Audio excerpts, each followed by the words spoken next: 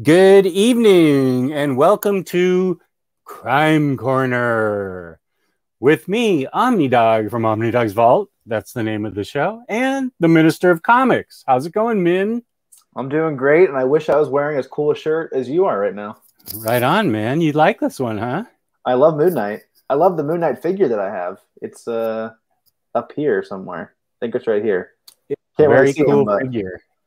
I, I got that one for eBay pretty cheap but that's a pretty sought after figure, I think, by some people. Yeah, I think so. Here's my Moon Knight Mezco. Let's see if I can get. Oh, there oh, cool. he is. And Jess, I've heard you're to blame for someone's Mezco addiction. Am I right?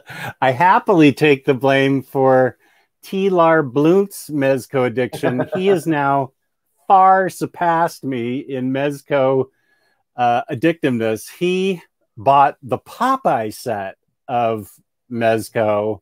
Wow. And already has plans for him. Um, I he is so into toy photography that he thinks much differently than I do. He when he buys figures, he's thinking of how he can set them up for pics. Right. Um, and I just get him. I mean, I'd love to start taking pictures and stuff, but for right now, I just like him to display them. And I I don't know what I'd do with Popeye, but he's already got plans for Popeye going to the savage land with a dinosaur and the X Men. I don't know. Does Popeye come with a can of spinach though? That's oh yeah. Question. Oh okay. yeah. I was gonna say, and, and, one of the pipes and stuff. Yeah, he has a pipe, and I think he has an open mouth head, so he can be yoinking the spinach in.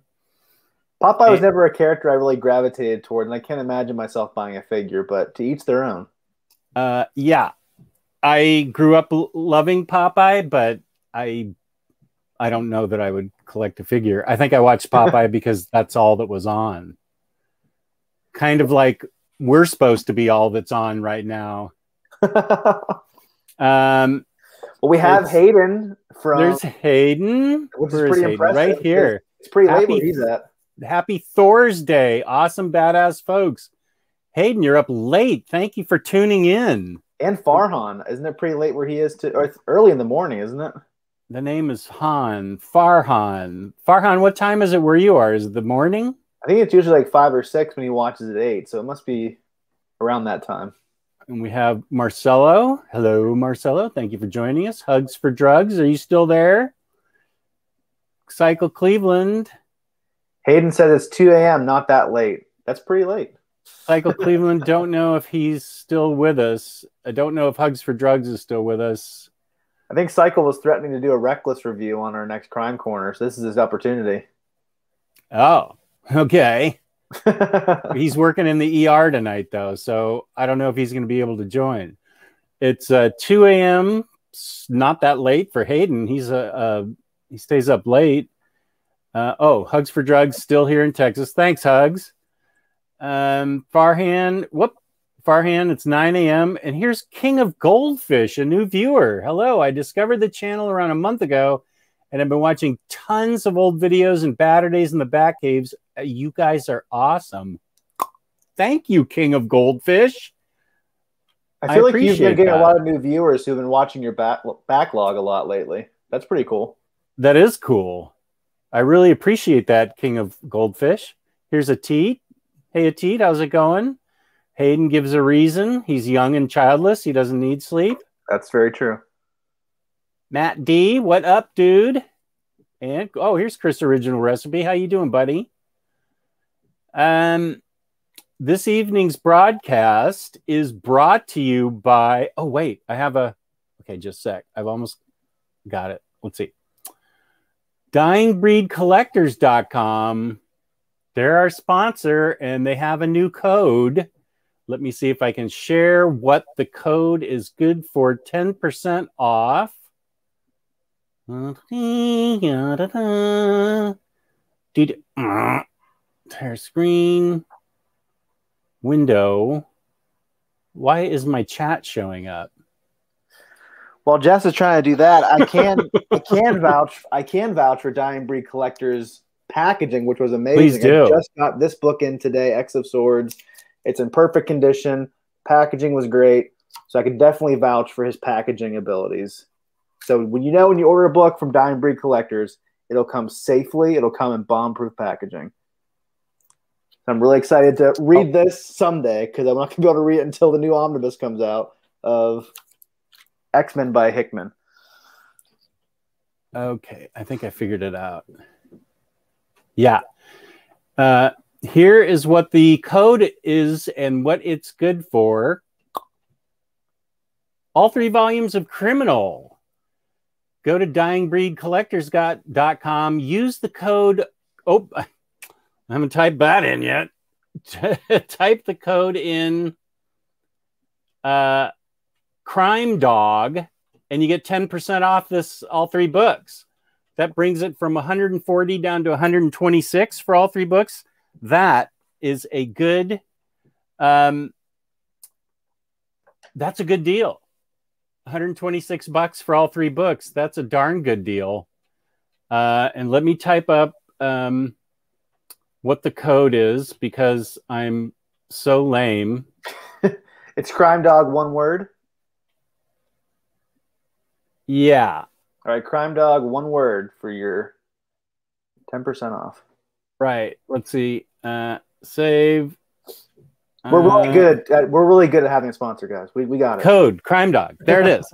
DyingBreedCollectors.com. 10% off on all three volumes of Criminal, which brings it from 140 down to 126. Code Crime Dog because it's Crime Corner. We're talking about crime tonight 007, Bond, James Bond.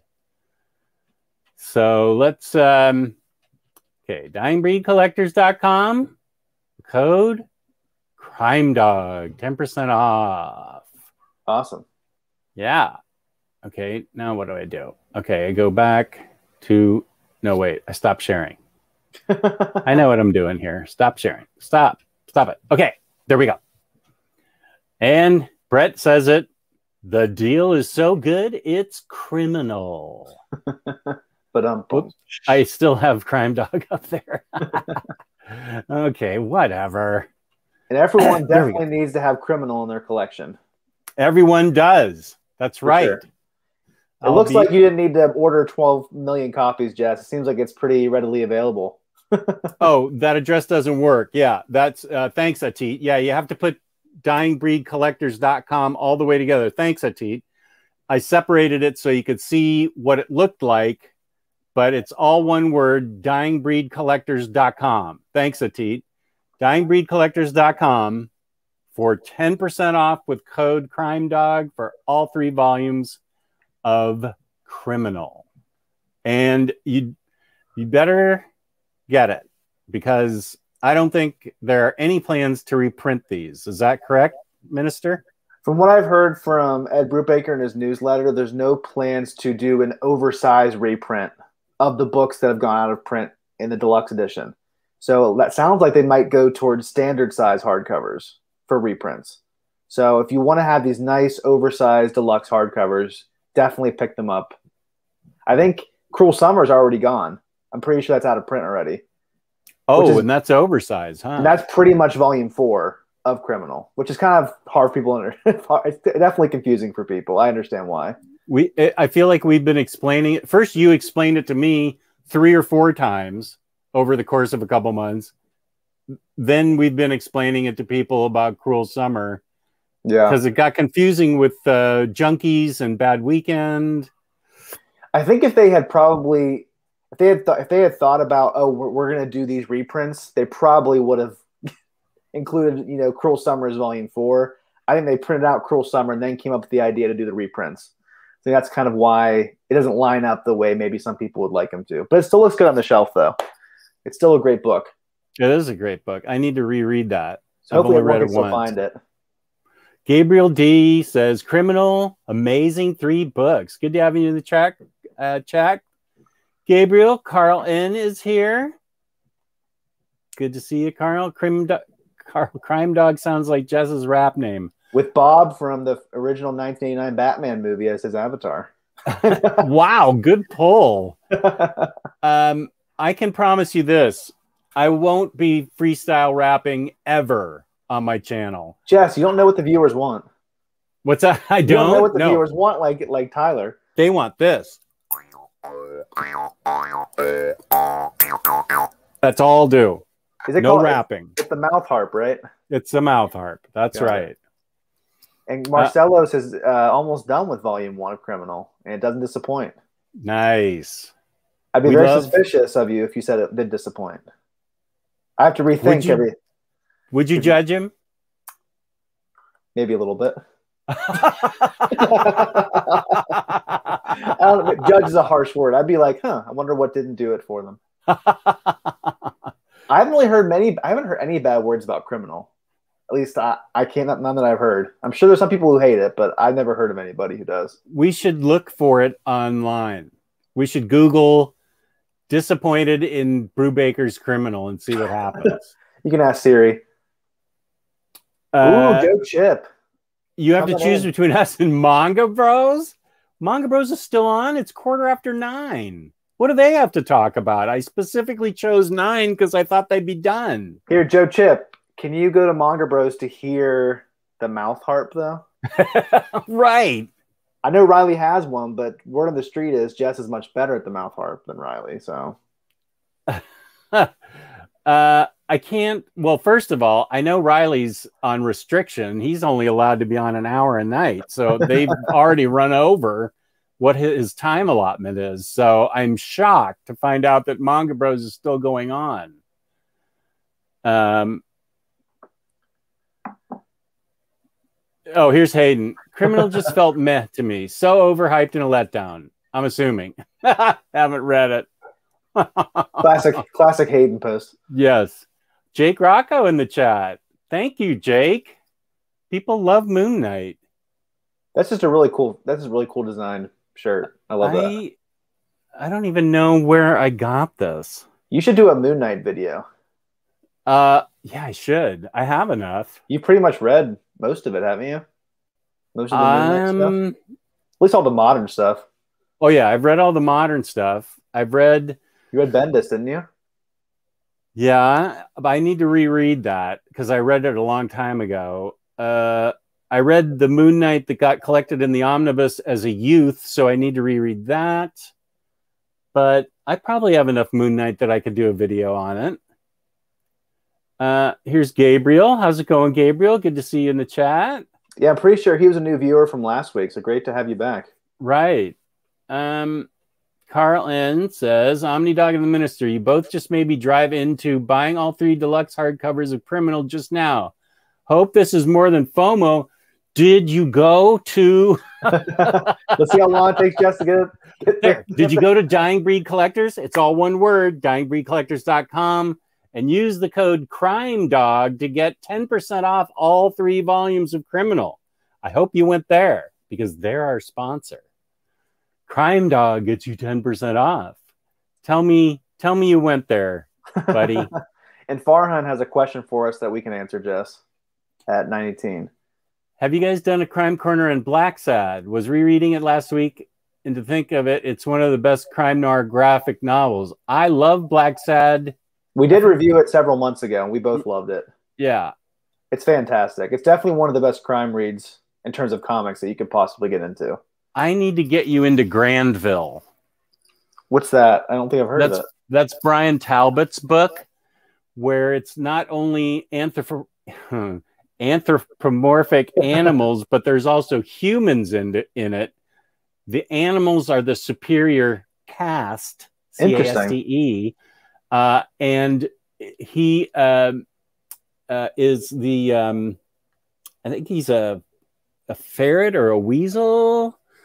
He is um, a detective and they're very well written. Uh, a new book just came out this week that collects all of them. It's called Grandville Integral um, by Bryan Talbot. I think he did the same thing with Luther, Luther Arkwright. I highly recommend Grandville. Is it a crime book? yeah, he's a Oh, cool. private dete- he's a private investigator. Private. Oh, cool. Wait, let me get it and just show you some of the art real quick. Awesome. I'll try to answer some questions while you're grabbing it. Well, thank you, Hayden. Hayden says, What's not overrated and needs more hype is Omnidog and Minister of Comics. Such wildly amazing people and kind of hunky, too. 10 out of 10 recommend. Well, that's a great endorsement, Jess. Well, he has, doesn't have his headphones on. I was just reading Kate, Hayden's comment where Hayden says that we're, we're hunky guys. So, oh, where's thanks, that? Thanks for the compliment. 919 kind of hunky. We should take a, a, picture of this and put it on our Instagram. Should we take issue with the word kinda? um, I'll take kinda hunky. Yeah, I'll take it. That's, I mean, Jess and I were just well, Jess and I were just texting before the show that we'd rather die young and fat than old and healthy. So I'll take it.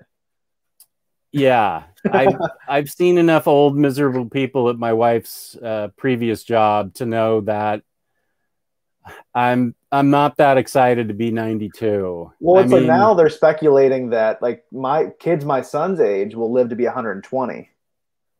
Like consistently, not not being outliers. That just seems far too old. What kind of quality of life will you have past 100? Well, I think they're saying that you're going we're going to be exponentially more healthy and have longer lives. And so, but I mean, you read the Bible and you see Methuselah being a thousand, it's like I don't want to live that long. Can you imagine being a thousand, hundreds of years old? That'd be, that'd be really boring. I have uh, trouble just getting around. I, I'm barely past 60. My body started breaking down at 40. Imagine that Walgreens fall at 120, Jess. it would have killed me. Those women wouldn't just be watching you roll around; they'd watch you just dead on the curb. Well, I wasn't rolling around; I was flat. I, the wind got knocked out of me, and I hit so hard I couldn't draw a breath. uh, but yes, they were standing around. Here's Grandville Noel, which is a Christmas story. Is it black and white? Uh, no. Oh, okay. Wait till you see the art though, and the the story is fantastic. Oh, nice. Yeah, and he's a private investigator. He's very dapper. Do you know what like time period this is set in? It's like a steampunk era. It's a it's an alternate reality. Kind of like Sherlock Holmesian times. Um, yeah, but with some steampunk thrown in. Got it. And who's the publisher? Black Horse. I never heard of him. Dark Horse. I was like, wow, they're really trying to rip off Dark Horse. Don't tell me it's Black Horse, Taylor. It's Dark Horse. I'm so sorry to lead you astray. Here's the racy parts. So he changes colors and stuff. So it's really cool as he does his investigation. And the writing, bryan Talbot is a fa- fabulous writer, fa- fabulous writer. And um, I love the book. I love all the art.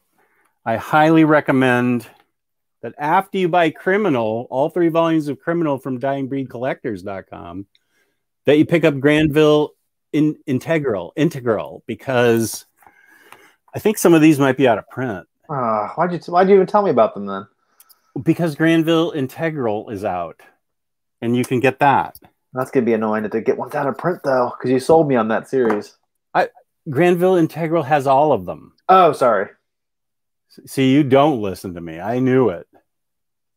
I knew it. Now you finally have proof. Sheepers. Uh, here's Carl N with a compliment. Thank you, dude. At least you pay attention to me. uh, here's a crime question from Matt D. I have a crime question for you guys. Have you guys read Scarlet by Bendis? I know there's an absolute edition, but I don't hear many people talk about it. I read it when it first came out and liked it. I don't have the absolute of it. I still have the two hardcovers.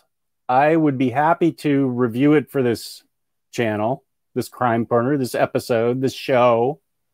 Have you read it? I got like halfway through. I wasn't a huge fan.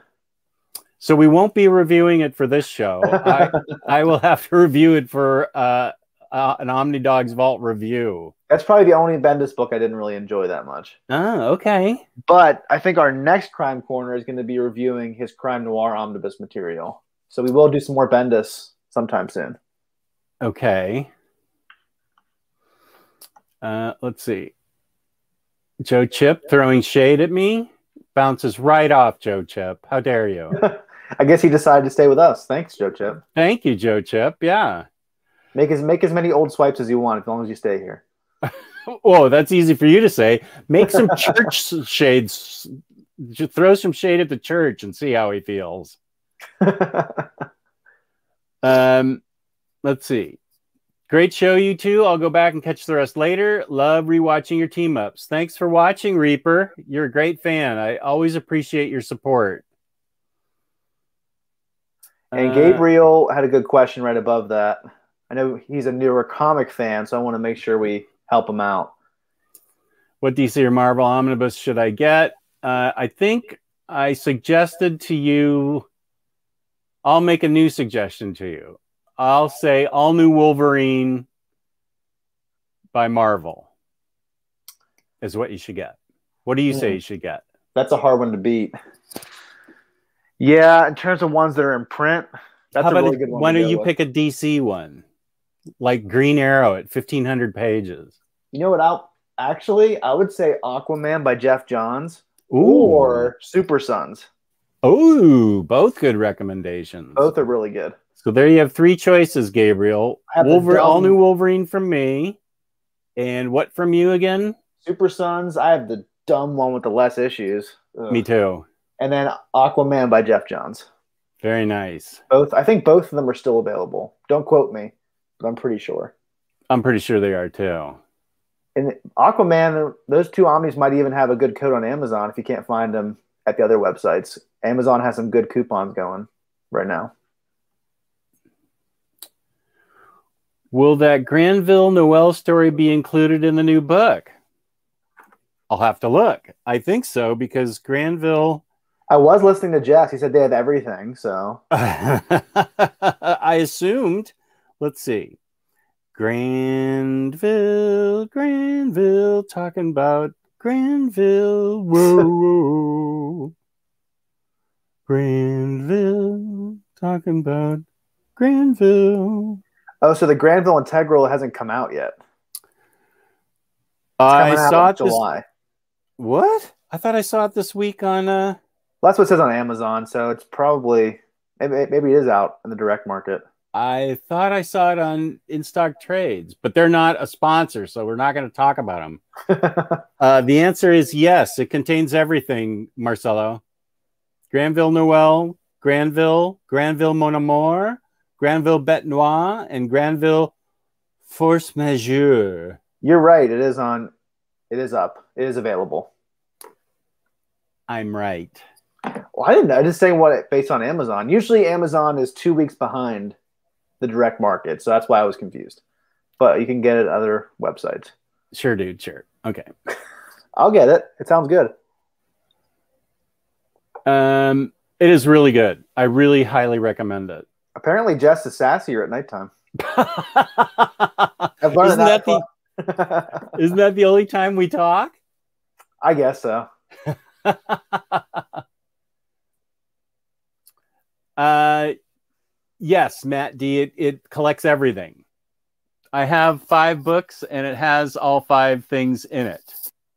So what I just showed you is definitely in the new collection.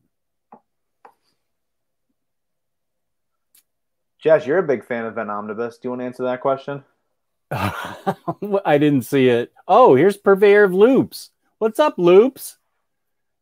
First live crime corner. Peace and love. Peace and love to you, Loops. Thanks for tuning in.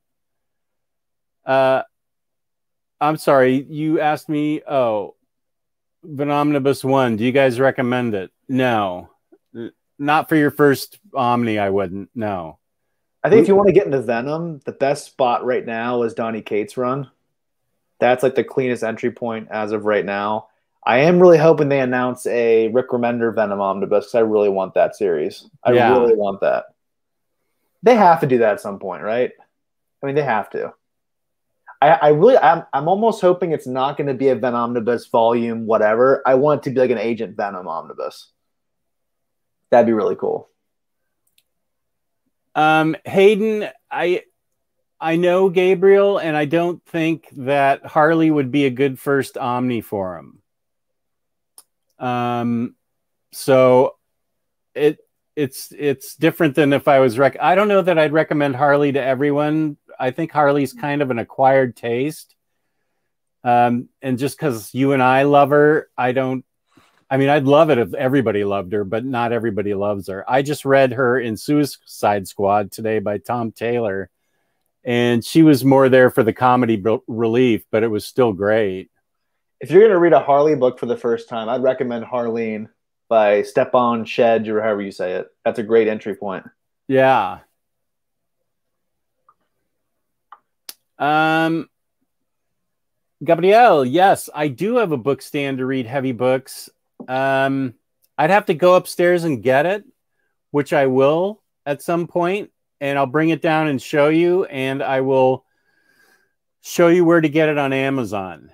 It's a very nice foam covered with a soft cloth that's for a laptop, and it sits in your lap, but it is perfect for uh, an Omni. The heavier the Omni, the better. I actually read all books on it because I don't like uh, hardcovers digging into my uh, legs. So I put all books on this thing. I will. I'll go get that before the show ends. Um, I'll try and do it in the next few minutes and I'll uh, I'll I'll tell you where to get it on Amazon. It's a I'd love them to be a sponsor of this show too. Carl N has a good idea for you, Jess, to make a jingle for our new a jingle sponsor. for this sponsor, dyingbreedcollectors.com. Um let's see. Ha- here's a good question. See, speaking of James Bond, have you guys watched all the Bond films? I haven't watched all of them. I'd say I've watched a majority of them. I would say I, I don't really like Roger Moore's interpretation, so I kind of avoided a lot of those. Um, I've caught bits and pieces of almost all of them on TV at some point. I think the ones I've watched in their entirety is all the Sean Connery stuff, all the Pierce Brosnan movies, and all the Daniel Craig movies. Um, I've watched all the Sean Connery movies probably 50 times each. I I watched all the Roger Moore ones because that was the only choice for me right. as a kid. Um, I I didn't like him uh, as James Bond, but he was the only choice, and so I I watched it.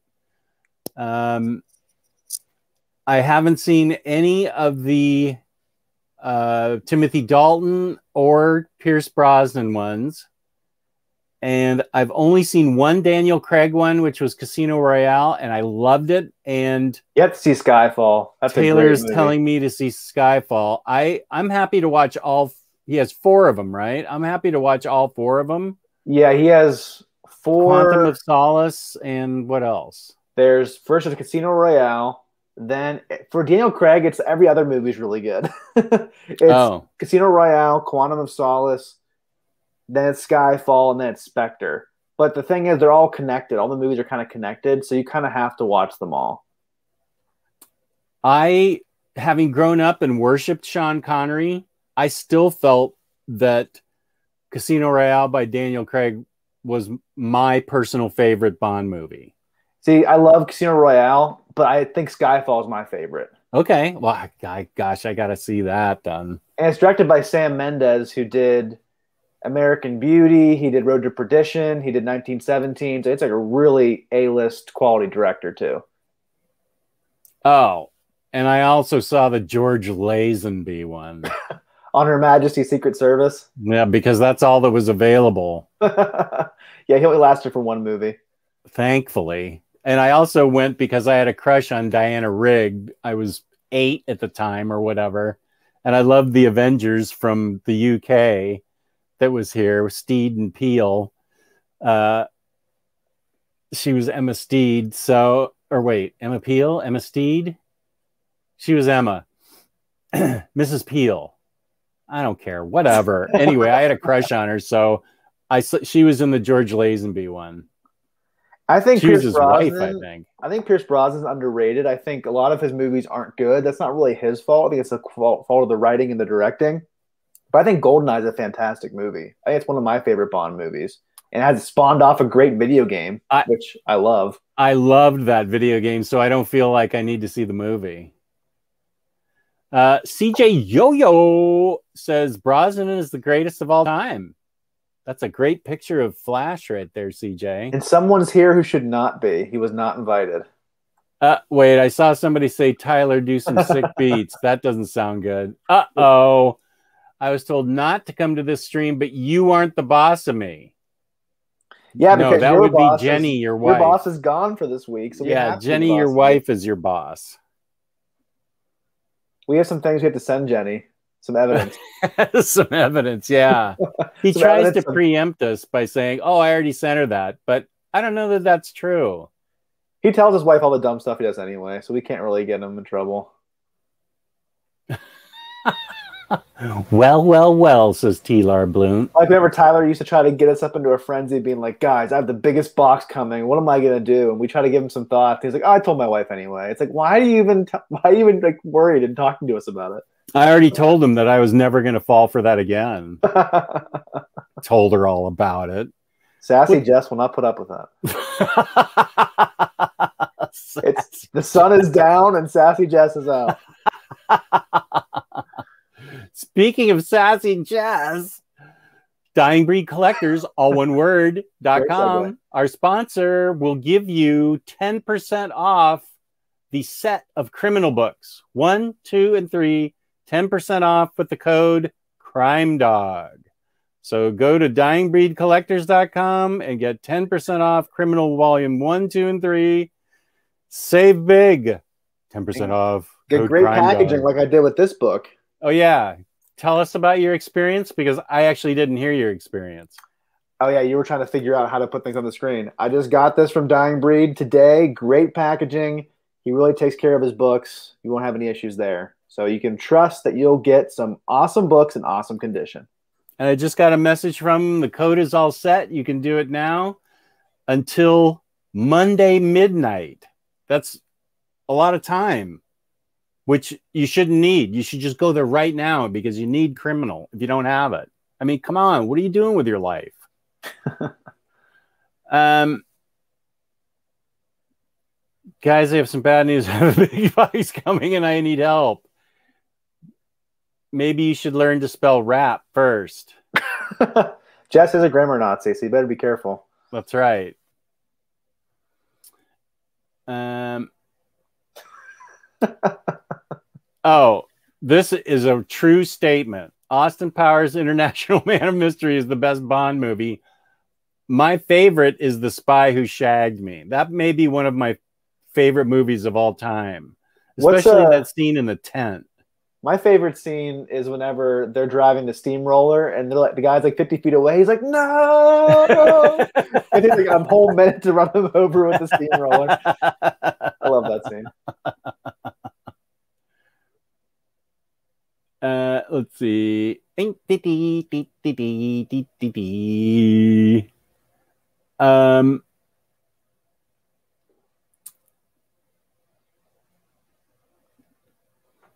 uh, it just will take forever to ship something, Atit Patel. It's very crazy how long he takes to ship stuff. Very upsetting. Is, is there a way I can block a viewer? Yeah, I can put you in timeout, Tyler. I, I might do that. I can't speak to Jess's shipping. He always ships things very timely and very well. I've gotten many packages from Jess, so Tyler Blunt is just a man child who's trying to swipe at us. yeah. What's going on with that? Um wait, what is he waiting for? Um you want me to put him in timeout? I can do it. Why not? Might as well. He'll just sign in under John. Okay, yeah, wait. Johnny Cool Johnny Cool. or SSD Toys Um or one of his many other identities. yeah, there's no getting rid of him. He's got like nine names. He's like Teflon. He just bounces right back. Tyler, did you pick up Batman the Adventures Continue Volume 1? Either he's talking to Tyler or he accidentally called me Tyler.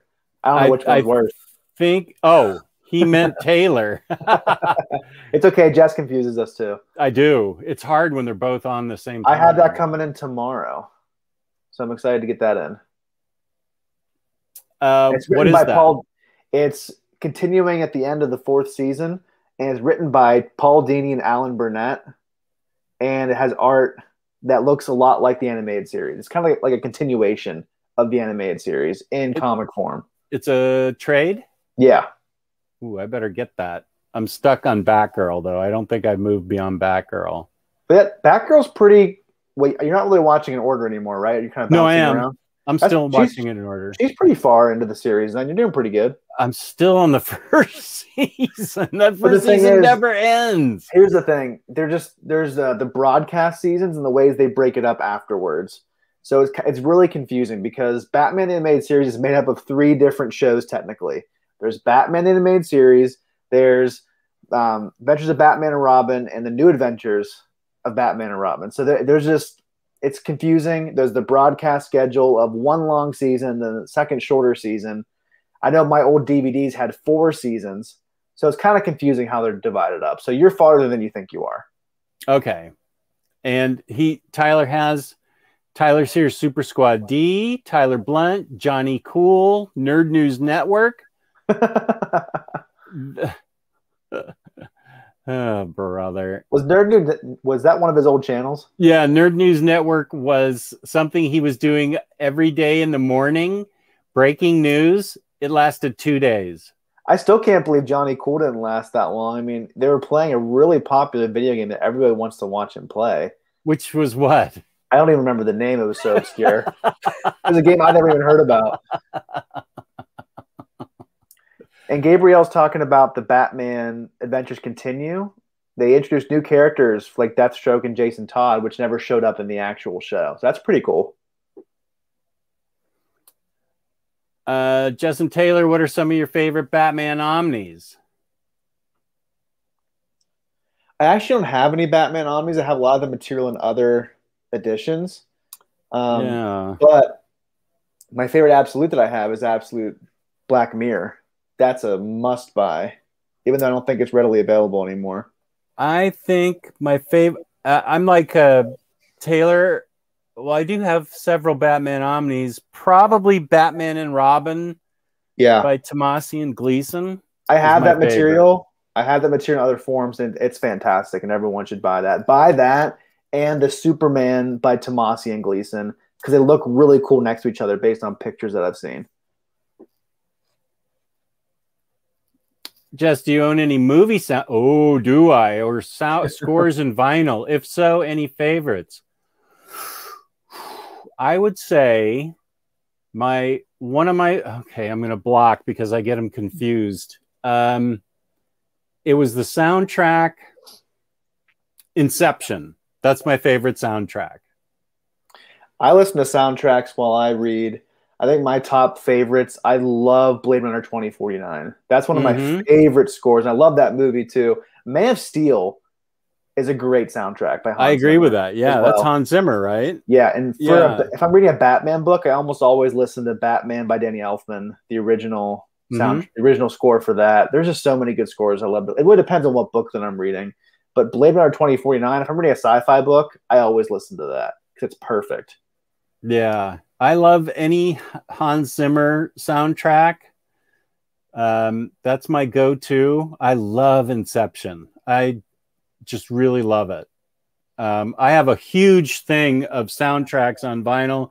I have all the Marvel movies that are out on vinyl, uh, and I intend to keep collecting those because they've said they're going to put out every Marvel movie score and soundtrack out, um, uh, including Amazing Spider-Man, which is Sony, but um, the MCU and Spider-Man I, I like to collect. So those are uh, some of my favorite movie soundtracks. I probably should do a vinyl uh, video because it's almost alphabetically organized now, and I can uh, I can do that. And since it's a crime corner, a great crime soundtrack to listen to is um, "Thief" by Tangerine Dream, which Jess Yeah. has. That is Mhm. a crazy good score. And I think they did some other movies too. I can't remember what other movies they did in the '80s. Maybe Jess remembers. Oh yeah, they did a lot um, of movies. Uh, one of them was um, oh, it was crazy. It was with Roy Scheider. Um, uh, the I don't know. It was a movie my girlfriend and I walked out of at the time. She didn't like it. it was with Roy Scheider. I don't think I've ever walked out of a movie in the theater before. She didn't like it, and we left. And I was in college, and I was in puppy love with her. So we could have walked out in the middle of West Side Story, and I would have been sure, sweetie, whatever. she, of course, broke my heart, and that's the way it goes. Was she the drink to the face girl?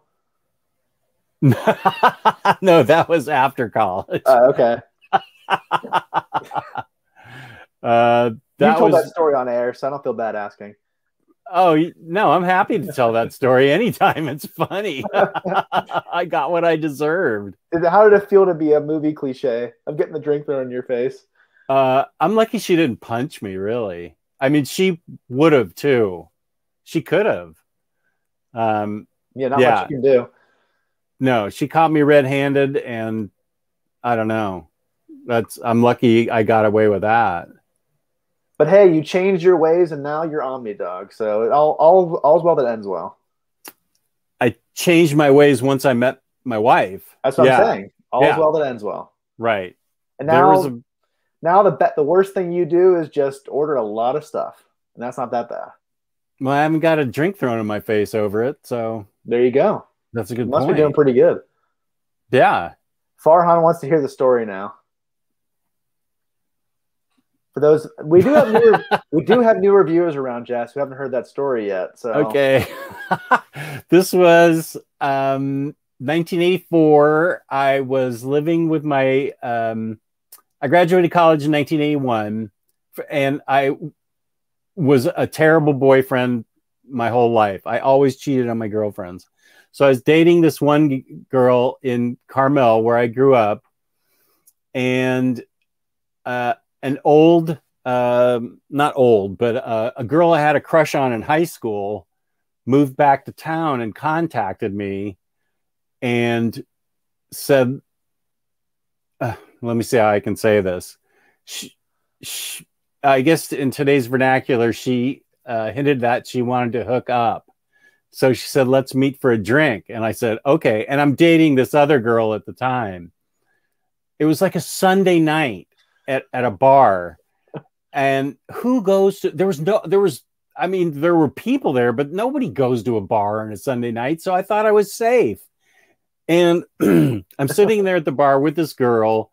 We're sitting like in each other's lap practically. And my girlfriend walks in and she hates this girl that I was with. She went to high school with us and she hated this girl. And she she walked in with her mother and father. I forgot Ooh, that, that That's the worst part of the story, Jess. How'd you ever tell me that before? I sorry, I forgot that part.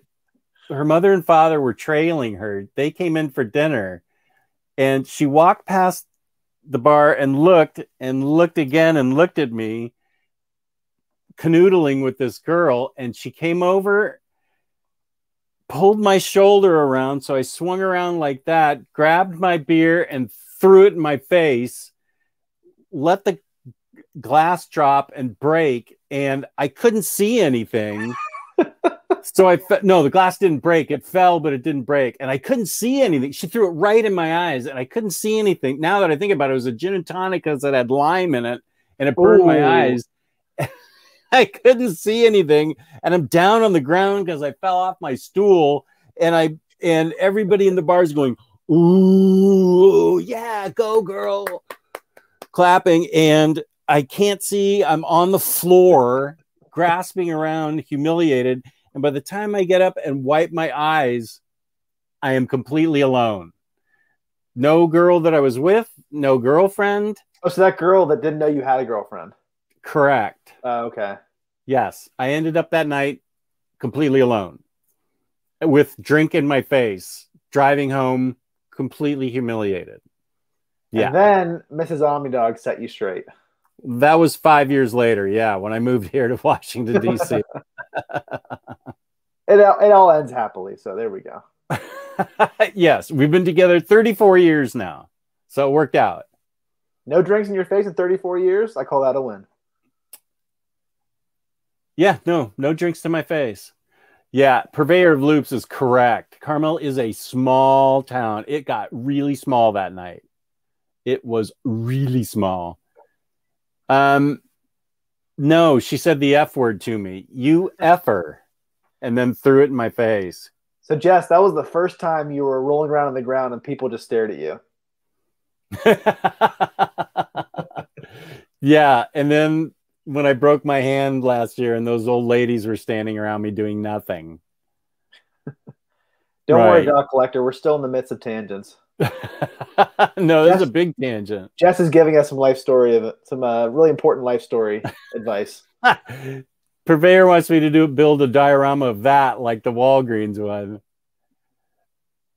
Uh, yes, I voted for him for mayor in Carmel. I, I still live there.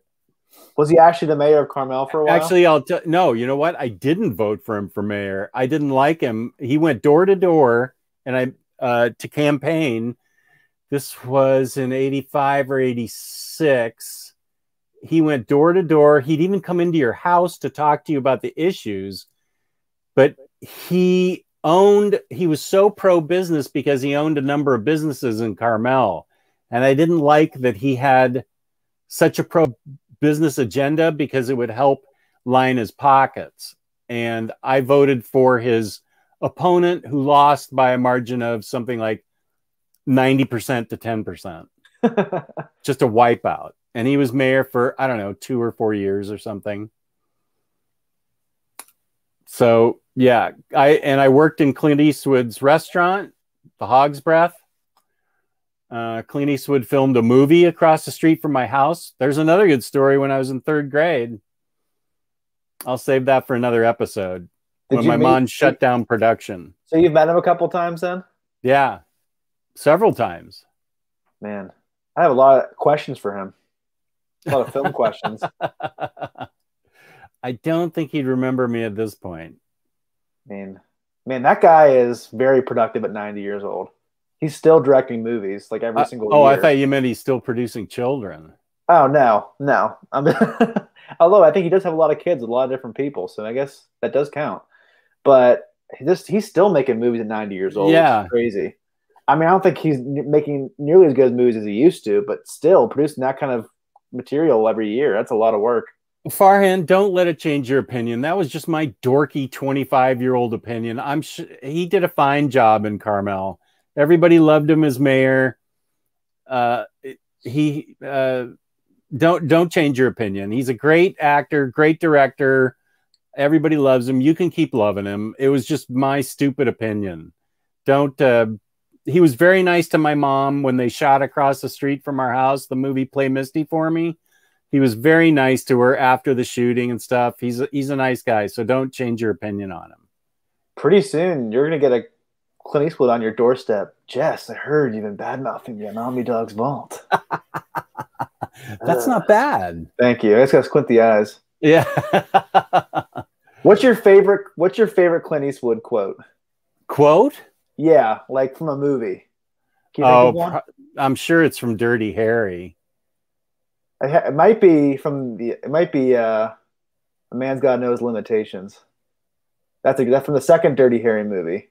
Um, I I think it's I'm holding a. Okay, wait. Would he say I'm holding a Magnum 44, the most powerful handgun in the world? Well, and all this excitement. I forgot if I shot five bullets or only four. And the do you want to get lucky? Do you think you can get lucky, punk? That's the one. I think one of with a mouthful remember. of hot dog he keeps chewing. That was what's so great about it. He left the restaurant and kept chewing his hot dog. There's so many good quotes in Unforgiven too. I've killed everything that's crawled the face of this earth. Like that whole, I think that, that whole quote at the end of the end of the movie where he's just like talking off people in the the uh, bar. That's that's a great movie too. Wait, what what quote is this from? I don't recognize it. I'll look it up. I tried being reasonable, but I didn't like it. What's that one from, Atit? I haven't seen Gran Torino. Oh, that's a great movie too. Yeah, I heard that, but I haven't seen it still. I tried. Oh, is it Outlaw Josey Wales? Maybe that's what it is. Could someone let us know? I'm trying to find it. Cancel Tyler, keep Taylor. I missed some stuff. Was checking out Omar's still on the air. Give the rest of us a chance. Son of a. Was checking out Omar's new announcement sneak peek on Patreon. Oh, Patreon. Okay. Patreon's okay. You should do a Patreon and just tell Jess Bragg stories from your past as your rule. Don't you have a lot of them? I do have a lot. Yeah. I'm pretty sure my Patreon stories would be very boring and people wouldn't pay for it. Um, you make up for it with your spontaneous sense of humor. Do you guys want to hear about the time I didn't have a girlfriend till I was 21? yeah, I don't know if that story is going to go over that well. But my only girlfriend I ever had ended up being my wife, so there you go. Can't complain. No, not at all. Joe Chip, we should do a Patreon just with tangents. Whoops. Whoops. the comments came in really quick. Memoirs of Jess Bragg tier. People would pay just for that smile.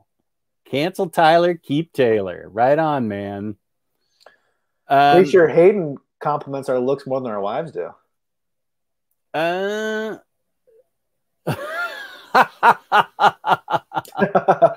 I'd pay Patreon to keep Tyler away. What do you think of that, Super Squad D, Johnny Cool? A dollar a day keeps the Tyler away.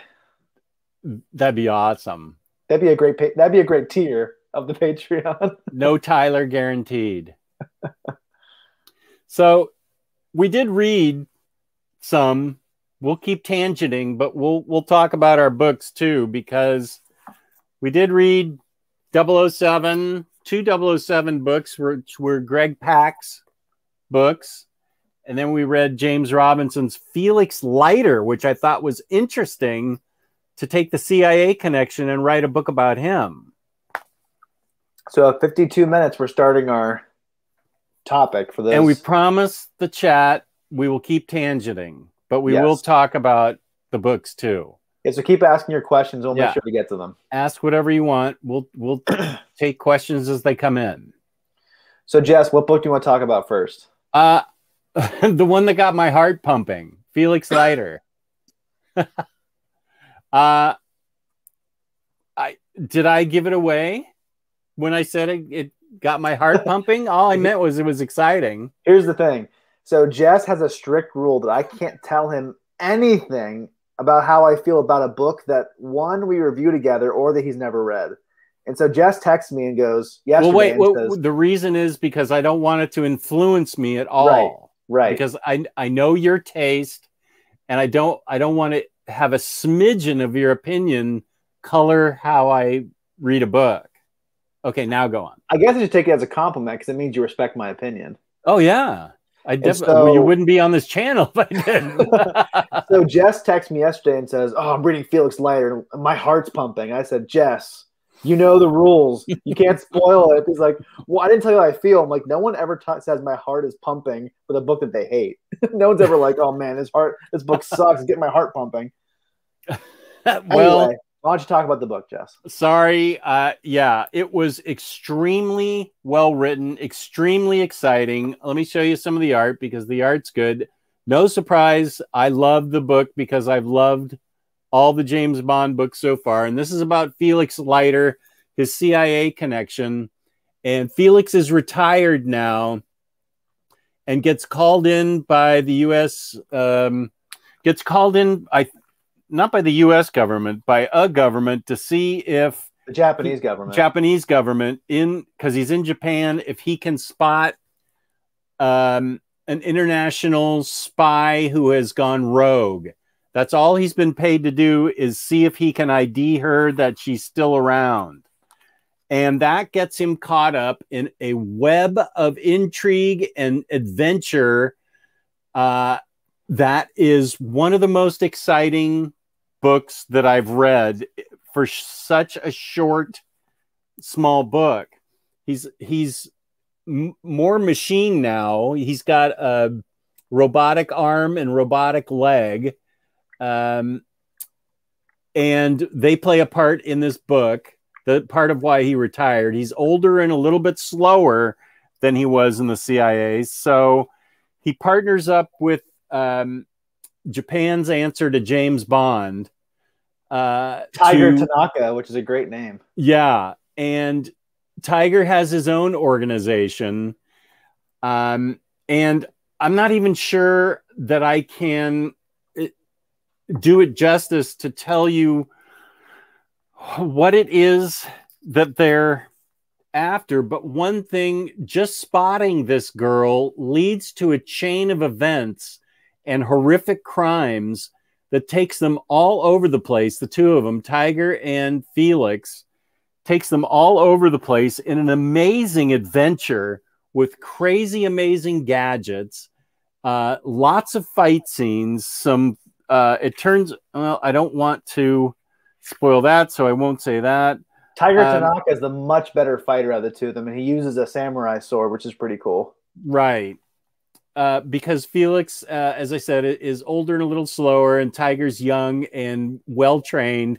He has his own uh, school where he trains his own men and women uh, into the finest field agents possible.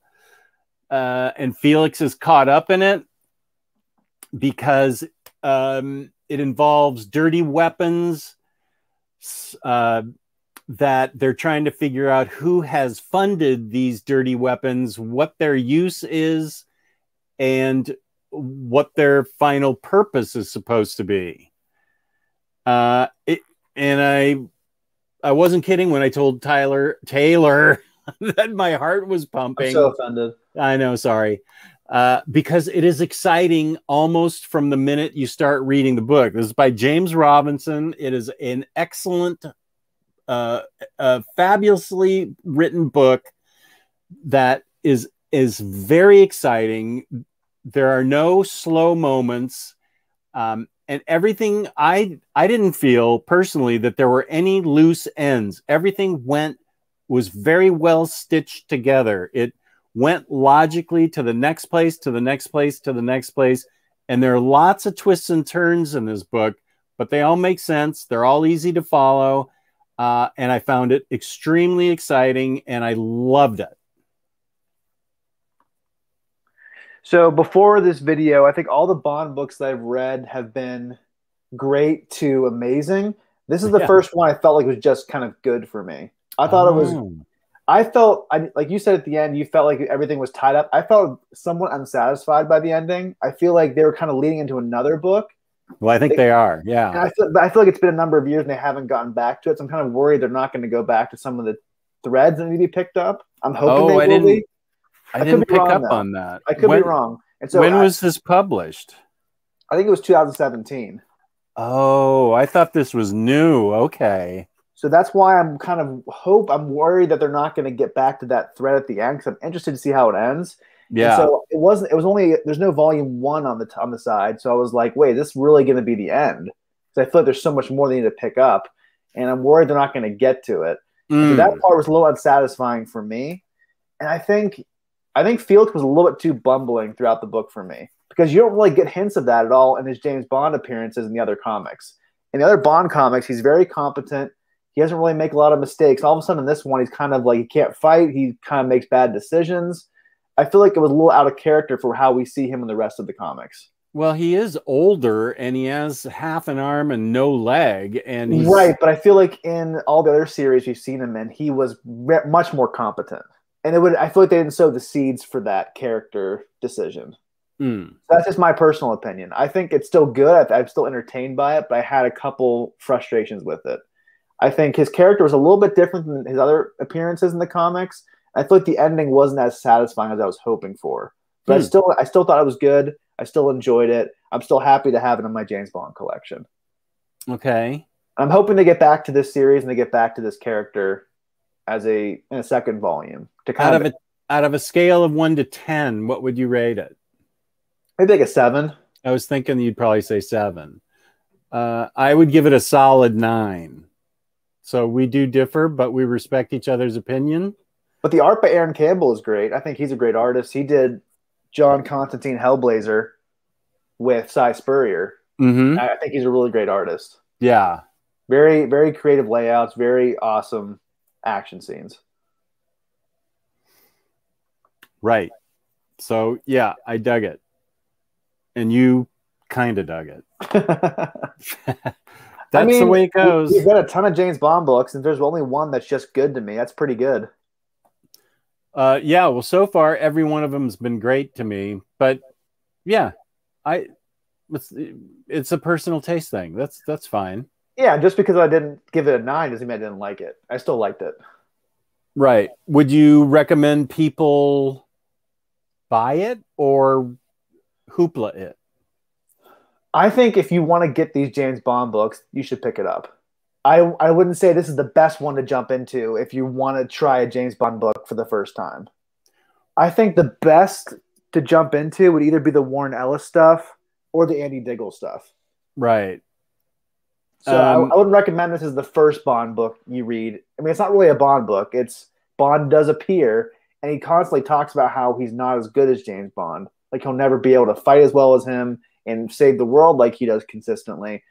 But I think maybe steer towards Warren Ellis's stuff, Andy Diggle. I also love Benjamin Percy's Black Box. Yeah. That's a fantastic book. So I would maybe go with those ones first. I think uh, this Felix Leiter should probably be read last because since he's older, uh, less agile, and uh, you know so aged that I would say this is probably best read after everything else. And they do reference back to the first volume of Warren Ellis, VARGR. They had the asterisk and say read VARGR to get the more background information. So definitely read the Warren Ellis stuff before you read Felix Leiter. Did you? Uh, you didn't get the Warren Ellis omnibus, or did you?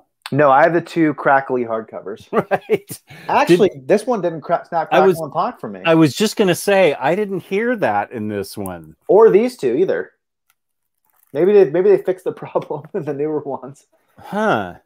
When was the when were the Greg Pak ones made? These are the newest ones, I think. These are the very newest. Okay. I think the yeah, I think those are the newest ones that are out at least. Okay. And Matt D has a question for us. Is there no particular reading order for the Bond books? I think for the most part, you can read them out of order besides Felix Leiter. Yeah. I would say, like Jess said, if you're gonna read if you're gonna read this book, read it after everything else. It'll make a little more sense. Everything else, like the James Bond origin books by Jeff Parker, we've both read and loved it. That's set outside of this continuity, I would think, because it's set in the 40s during World War II. So I think you could read all of them out of order besides Felix Leiter. Would you agree? Yes. Okay. Yeah. Um I think this is the one we haven't read yet. Is this the series of short stories? Yeah, so we're going to do a part three at some point because we still have to read Reflections of Death, which is an anthology. We still have to read James Bond Case Files, which is an anthology. I've already read The Body, but we're going to talk about that one as well. And there's a new one coming out in August called Big Things. We need to get that one too. I don't think I've read The Body. I think you have it though. I have it, yeah, but I don't think I've read it yet. Yeah, so we're going to do a part three and wrap up all the ones that are available at some point soon. I I would say this is one besides Brubaker and Phillips books in our collection. These are the other books that Taylor and I agree on most about being happiest that we own all of them, uh, and they're a, like a um, kind of a favorite part of our collection, or we're really happy to have them in our collection. Would you say? Yeah, even though I was I was more mixed on Felix Leiter than any of the other ones, I'm still happy to have it in my collection and I will reread it. So I'm happy to have all these books and I, I love how they look on the shelf too. Yeah, um, but I, I don't, I don't know that there's another series that we own besides the Brubaker and Phillips that we're as excited about as the James Bond books. Yeah, that we you and I share. Yeah, we have texted about them texted about them a lot. We're always excited when a new one comes out. Yeah, That's for sure. And Yeah. the current series is by Christos Gage, and so we're really excited to read that when it comes out. yeah, very much so. Here's Chris Borman, Chris D. Borman. Love you guys. Last James Bond Crime Corner, I bought six books.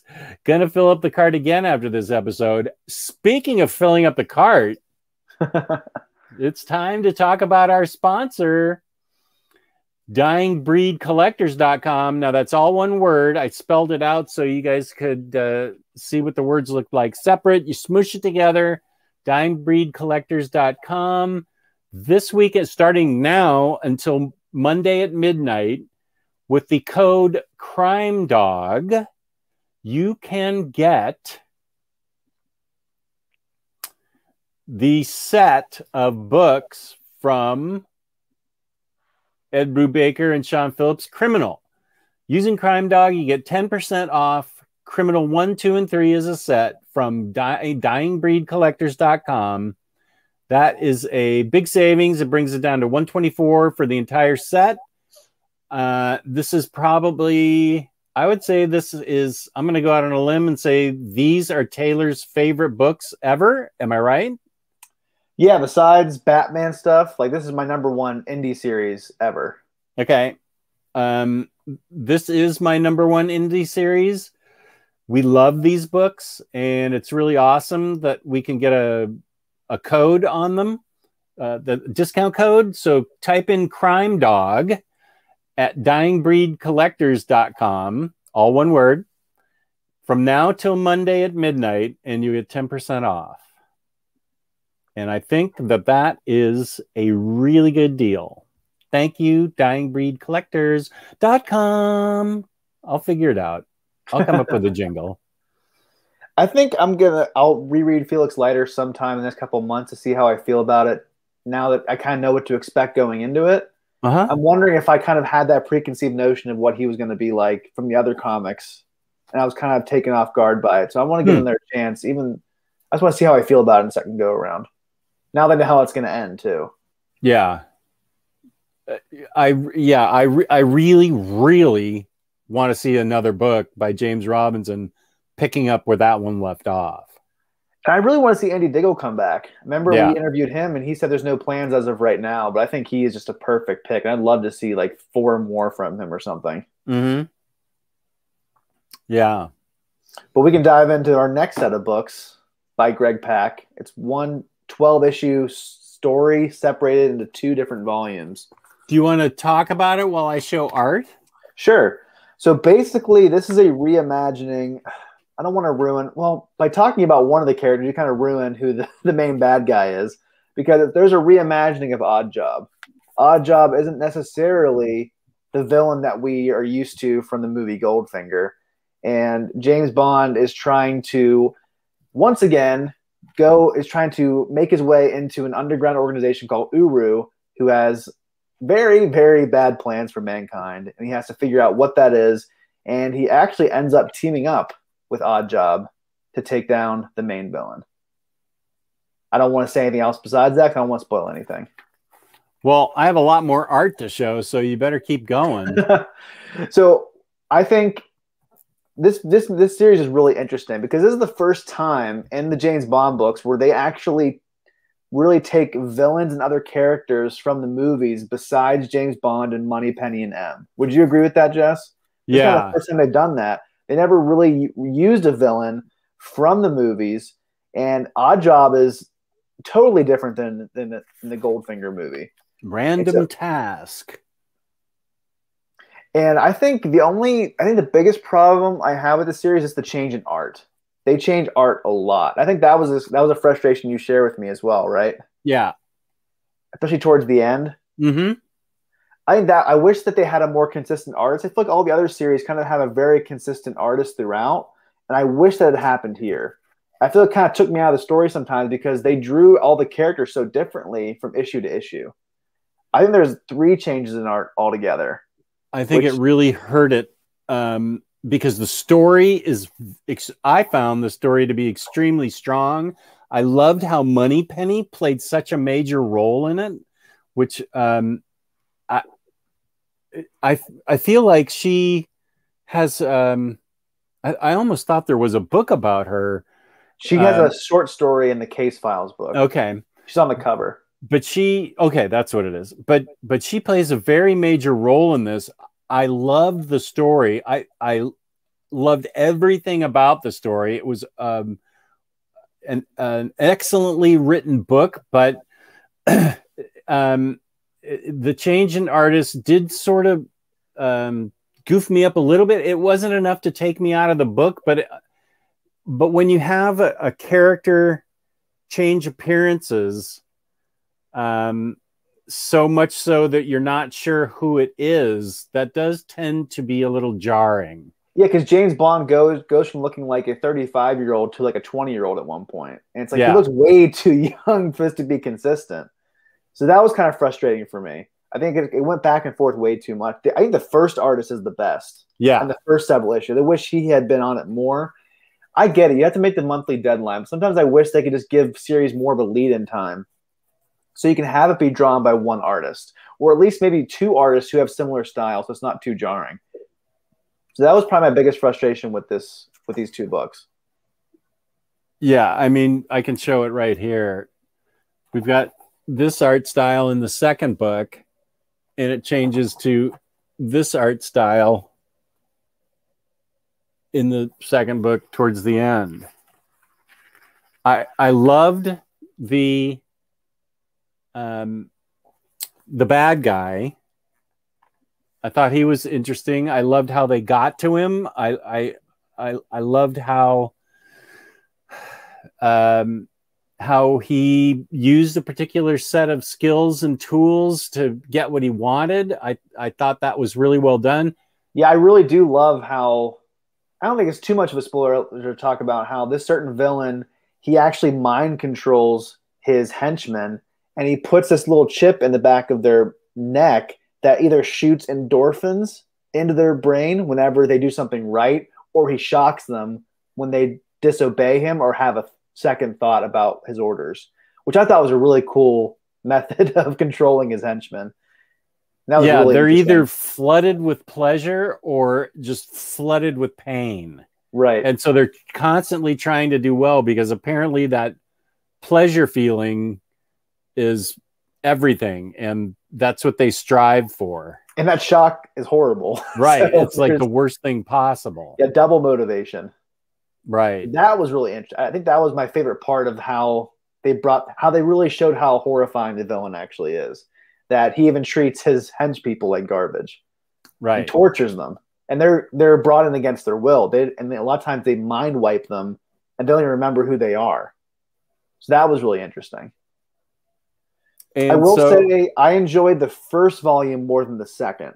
because of the art or the think the story art- too. I think the story kind of. I feel like I, I still enjoyed it, but I feel like the ending wasn't as satisfying as I was hoping for. Mm. I feel like the ending action set piece wasn't as cool as I was hoping, and it kind of came out of left field, a certain aspect of the story. And I feel like the ending of how they did away with the main villain could have been a lot cooler. Hmm. Okay, I uh, politely uh, disagree that I I guess this is another instance where we where I cared for it a little bit more than you did. Would you give it another seven? I'd probably give it a 7.5 because that first volume was really strong. Yeah.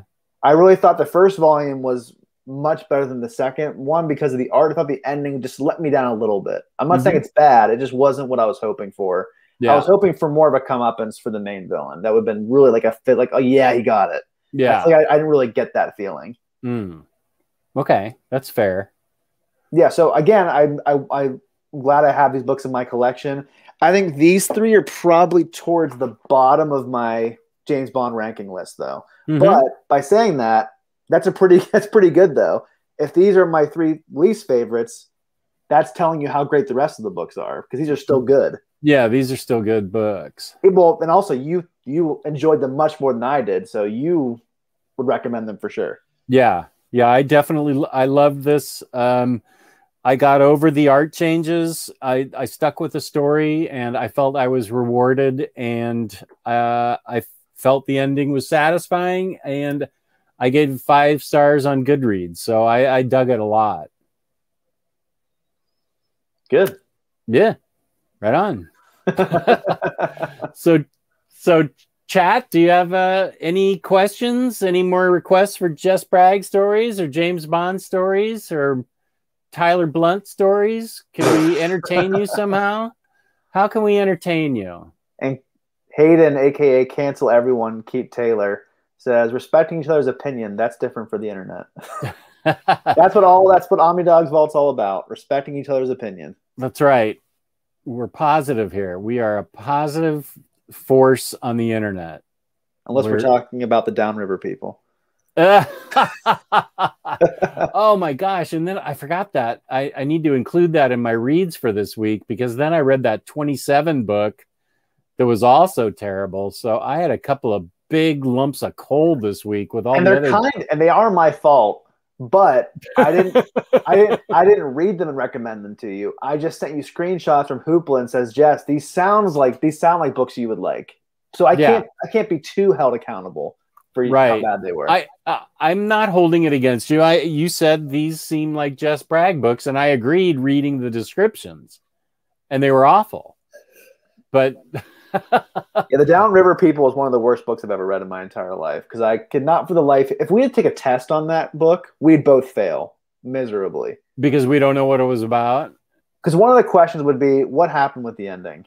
And I'd be like, uh, "I can't even begin to piece together what that was about." It was like there was art throughout the whole thing, and then it just was a bunch of scribbling for the whole end. I was like, "Where? What happened to this book?"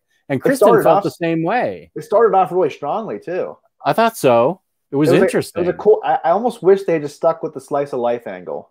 Yeah, but they decided to go in a weird supernatural route that comes out of nowhere, and it's like, what am I reading? It's like, it's like the author at one point started to sh- like started to snort cocaine and was like, no, no, no, I know how it's supposed to go, and started clacking on his keyboard and sent off to the artist, and they just did it, and it was like, all right, that that's that's a direction. I felt like he couldn't the uh, creator couldn't commit. He was like you said, it was it was a good slice of life, interesting thing, and then he just threw in this other thing and still didn't finish it, or or the finish was so gobbledygooked around we couldn't figure out what it was. Right. That's for sure. Definitely don't recommend the downriver people. no. no, I'm definitely reviewing that. I'm going to do a video tomorrow of all my reads this week, and I I will try and keep my comments in a positive tone, but I wasn't happy with that book. If you still rootbeard books, I'm sure that would be one of your victims. Hmm, I did. I didn't hate it as much as I was super disappointed in it, and I'm not root beering it because it was on my iPad. you don't want to oh. root your don't root beer your iPad to make a point. No. What's up? I am woke up in the middle of the night, might as well say hi. Hi. And you had a great question for us a couple weeks ago. So if you have any good questions, yeah, let us, let know. us know. And um, Matt D is asking us about Greg Pak, another book that he has from Dynamite. I have not read the John Wick book by Greg I haven't Pak. either. I love John Wick. I know Jess hasn't re- hasn't seen the movies yet, so you probably haven't thought of the book. But right. I'll check it out. I love John Wick. That's one of my favorite action movies of all time. I know. I you have to watch those, Jess. They're so good. I even own them on my Apple TV. They were on sale for the first two for ten dollars. They're amazing. I mean, I think those movies and Dredd are like the best action movies of the past ten years. They're awesome. Well, at least I saw Dredd. Dredd is fantastic. It took me ten years to see that, though. when is Jess reviewing Squirrel Girl? Uh, when hell freezes over. Have you guys read Four Kids Walk into a Bank? I did, and I loved it. I have it as well, and I also enjoyed it. I also enjoyed Matthew Rosenberg's other book, um, We Can Never Go Home. That one was really good. That was like a crime supernatural story. Right. I uh, I enjoyed um, that book too. Uh, let's see, Jess, the new Harley run is getting a standard HC release for its volume two in December. Has the first volume been released? Uh, cancel. Who's writing volume? New... Oh, volume one. My bad. Okay. Who's writing the new series? Do you know? Um, Hayden knows it's somebody good uh, because it's it's apparently really good. I haven't read any single issues yet, but Hayden has, and he's really happy with it. Speaking of something we're really happy with, we have a really cool interview coming up this Wednesday, don't we, Jess? We sure do. We're going to be interviewing Eric Powell of The Goon, of The Hillbilly, and his new book, What Eddie Gein Done. So we're really excited to interview him. We'll be probably uploading that Wednesday night, maybe Thursday, but you'll you'll see it though. It's going to be a great time. Really looking uh, forward to that. Is there any part of you that wants to do it live, or would you always want to keep? You'd rather not get distracted by the chat. I think you'd rather mm. not get distracted by the chat. Yeah, I also you also have to run that by them too before you commit yeah. to it. Okay, so Harley's written by Stephanie Phillips. It's a different take on her, but it works so well. Okay, good. I never heard of Stephanie Phillips before. Mm, no, me either. Um, here's a good question. What made you both come back into comics after quitting it for some years? I think I know your origin story. Oh yeah, everybody knows mine. it was pretty much Dark Knight Returns, Watchmen, and the rest, That's, and Hellblazer, and all those books, right? It was Dark Knight Returns and Watchmen. Yeah, I took a is 1976 when I stopped and I believe Dark Knight Returns came out in '85. Um, in in that time frame, and that's when I came back. That particular book brought me back into comics, and then Watchmen kept me there. I used to read comics when I was younger, in my teen years especially. I had a subscription to Ultimate Spider-Man, where you like kind of send in a little postcard and check off what series you want, and they'll send it to you in the mail. I used to read that. I mean, I had Dark Knight Returns, Batman Year One, Long Halloween, Hellboy. So I read those books. I always kept them in my closet because worried people would make fun of me. But I kind of just stopped reading them after college. I mean, during college, because who really has time to read comics during college? Not at all. And then I got married, and a couple months after I got married, I heard about this book called Batman Court of Owls, and I had to read it. And I started listening to Kevin James, Fat Man on Kevin James, Kevin Smith's Fat Man on Batman podcast, where he'd interview creators like Scott Snyder, from and Bruce Timm, things like that. It really got me back into comic books. I got those trades of the Batman by Scott Snyder. I got American Vampire, and that really got me back into comics. And here I am today with a room full of collected editions. And, and you're partly to blame. And you're partly to blame for it because you, Riley, and Lou were pretty instrumental in getting me to buy hardcovers. Oh, I didn't know I was thrown into that illustrious group. Thank you. Well, I think I you didn't have your channel back then. The two big channels back when I started were Hardcover Reviews, which was Lou's original channel, and mm-hmm. Omnibus Collector. And I think Riley is pretty responsible for your collection too, right? Yeah. And that was back when he just had a blog. Yeah, when he was on Tumblr, that's what got oh, me yeah, started. Yeah, yeah, Tumblr. So those two guys, and then you joined them for Omni for Omni Bros Live, and that's when that was kind of the heyday for you back in 2016. Yeah, you're buying everything and drinking every root beer you could find. root beer float, ice cream in it. I gained 20 pounds. Man, 2016 Jess was the best. People certainly have fond memories of him. I don't know. 2021 Jess isn't too far off in terms of buying stuff. Uh, no, you're right but I, I'm, I'm not drinking uh, root beer floats all the time. You are thinner, so that's a big thing. Yeah, I'm really grateful for that. uh, Gabriel, who started the Omnibus Collectors channel, that would be Riley Moore. He is the Omnibus Collector. He has that trademarked. He is the Omnibus Collector. You should trademark. You should you should trademark Omnidog's Vault. I I don't. What's involved uh, in that? Did he tell you what, what's involved in it? Um, it's not hard to trademark stuff. Um, and I think I could make it. I know everything's already been taken, like omnidogsvault.com and omnidogsvault.org and everything, because people want me to buy the uh, right the the, the, the, the dominion. What is it? The, domain uh, name. Domain. Um, and even my Gmail account was had to be Omnidogs Vault Two you're like Lucille too on Arrested Development. um, so I I don't know that I take it that seriously. I guess if somebody tried to sue me or something, I could prove prior use. Um, but I, it's this is more of a lark for me. And Riley's young and wants to get things started and stuff. And and, and this is just my way of having fun. So And Jess wants to die before he moves, so he's not. He doesn't care about trademarking stuff. no, you're right. I do. Yeah, I've made it clear. Yeah, I don't when want to move this When stuff. you make statements you want to die before you move, you're probably not going to trademark stuff. Oh, look, Hayden doesn't even know what we're talking about. Root beer with ice cream? WTF? Root yeah, beer man, that's a root beer popular. float. It's way popular in America. Maybe that's not a thing in England. No, it's not. And it's especially not in places uh, like Japan and South America because they have a different palate and root beer tastes like medicine to them. I'm not kidding. I, I, Interesting. yeah, that's a, yeah.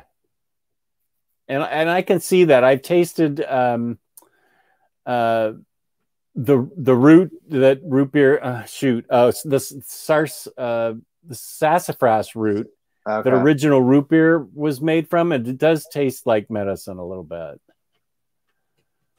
Um. Oh, here's Imperious Flex. How's it going, Flex? Yeah, Gabriel, I agree with Chris and cancel everyone that you need to get the Ultimate Spider Omni- Ultimate Spider-Man omnibus that's coming out at the end of this year because I'm definitely picking that up. That's a great place to start with Spider-Man. For a I agree. reader. Yeah. Um. Oh, so Purveyor's gonna blame us when he starts buying stuff. Cool. Make a video about how you blame us. Um, and here's something. Carl N says, Jess, you should visit New Bern, South Carolina, the birthplace of Pepsi, and have a cherry Pepsi float. Ooh, I love Wild Cherry Pepsi. Holy smoke, so do I. A cherry Pepsi Here's float sounds so good. I like I like regular Coke better than Pepsi, but Wild Cherry Pepsi is my favorite pop. Mm, I love. Interesting. Yeah, a Jess, I was just in Target today, and they have a shirt at Target that says has a picture of Coke and says "Best Pop Ever." And that's something I'm sure they only sell in certain parts of the country. Because I'm sure down your neck of the woods, people wouldn't want that shirt. No, but in places like Wisconsin, they call it pop. If you call it soda in Pittsburgh, you get made fun of. That's for sure. Yeah, same in the uh, the uh, Upper Peninsula of um, Michigan and stuff like that. That's where it's pop. Um, let's see what else is going on. When I had COVID, I was so bored I was slamming a bunch of root beer floats. That sounds great. That's a pretty good way to spend COVID. Now, this is a thing that I grew up with in California. We all it was all Coke. All that happened- sodas were Coke. That happened in Louisville whenever I lived down there for a couple of years. You would say, I want a Coke. What kind? I want a Sprite. And Exactly. It, really threw me off when I first moved down there. I was like, what are you talking about? But you, I never saw one Pepsi down in Louisville. Down south, there's like no Pepsi anywhere. It's all Coke. Oh, interesting. Any restaurant you go to, it's going to be Coke, not Pepsi. You can go buy Pepsi at a gas station or or at a like a grocery store, but you'll never find like a restaurant down south that has Pepsi as their main pop. Mm. Yeah, I'm I'm like Hugs for Drugs. We grew up calling everything Coke. Well, that was kind of like the original back then, really. That's kind of the OG. Well, I'm not saying I go back to 1904 with Coke. Shut no, I'm just saying. I'm just saying there was a lot less options for pop back when you were younger. Is all I'm saying. And Coke was like the dominant one. All right, Taylor. Jess always to take things so personally. I do not. I did not even I'm it that way. I'm totally teasing you back. Matt D is excited about our interview with Eric Powell. Those Goon Library editions are way out of print. I love these omnibuses they put out though. They're really nice, really thick, really well put together, reasonably priced. These are good options for those of you who don't want to track down the expensive library editions. And I love that they just named it the Goon Bunch of Old Crap. I only need to read one more volume. I'm ready to go. And I also read this that I talked about recently Big Man Plans. I need is to read. must read for any crime fiction fan if you have a stomach who's willing to endure the violence in this book. Gosh, I don't remember it being that bad. Whereas, uh, what's the other book that I couldn't handle? Men of Wrath. Men of Wrath. Boy, I couldn't take that one.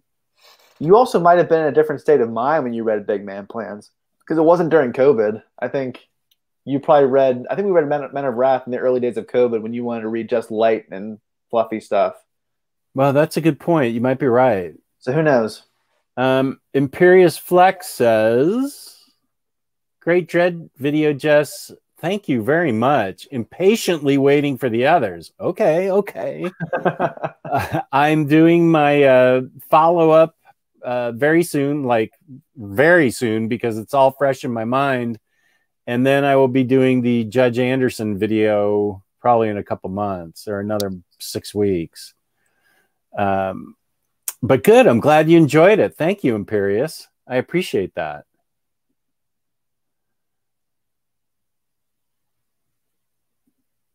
Hey, Jess, thanks so much for the Invincible by Kirkman recommendation. So, boss. It's weird to see you uh, recommend a Kirkman book. It's, I've never seen that kind of comment before. That is the only book by Kirkman I recommend. It is an excellent uh, book.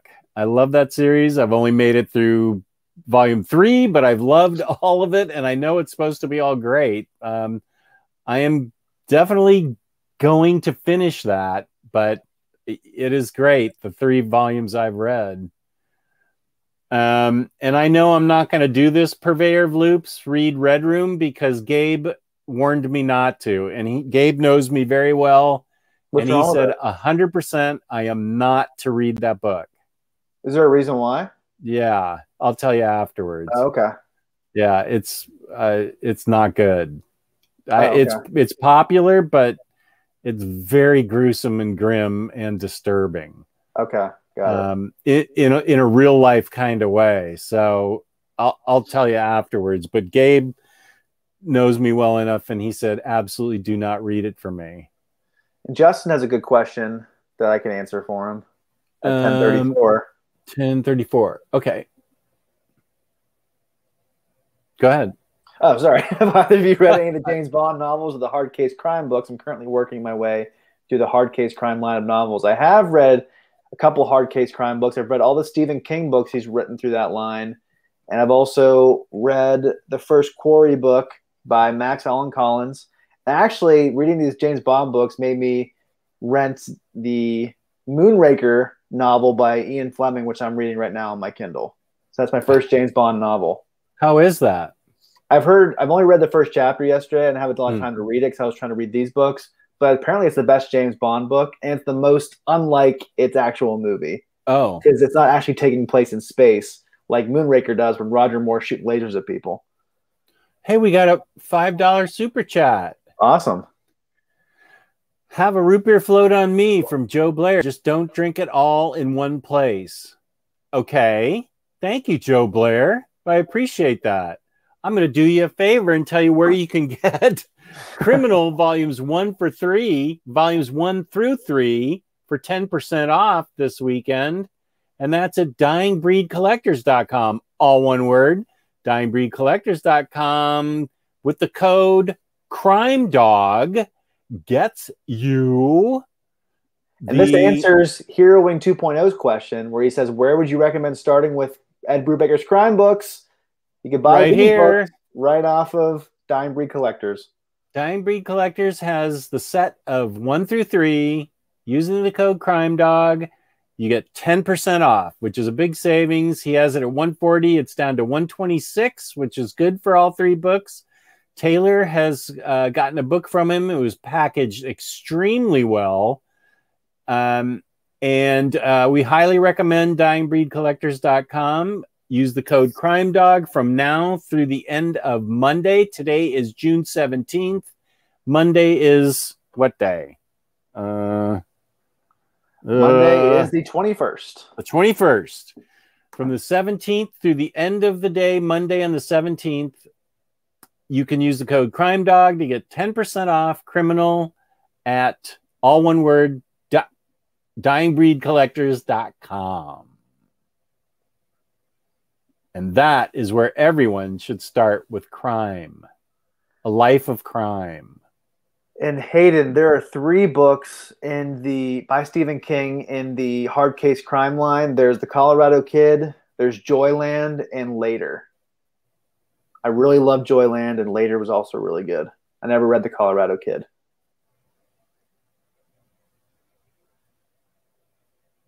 Uh, Gabriel, no, it's not worth getting. Don't get it. It's just a bunch of single of first issues of Yeah. all the rebirth books. It's a waste of an omnibus that nobody should buy. I agree. I wouldn't say that about many things, but any any omnibus that's just a sing just the issues of every series, just the first issue of every series is garbage and not worth buying. Yeah, absolutely not. Don't get it. Uh oh, we have one dislike. Bet it was Tyler because he got timed out, then canceled. Or it was Kirkman. Kirkman, we just recommended Ah. a book from you. Don't stop disliking us. Yeah, everybody, please hit the like button. Please like, subscribe, and comment to us because I feel like we've come pretty much to the end of our time. Thank you for the super chat, buddy, Joe Blair. We really appreciate that. Jeff Durham just picked up Friend of the Devil, you guys recommended. Love that book. Love that series. I need to read Cruel Summer again. I might read that tomorrow. Um, good, Jeff. I'm glad our recommendations are uh, something that you're enjoying. That's great. Um, Atit says it's never too late for more tangents. all, all we need are just some questions from the chat, and we can tangent on.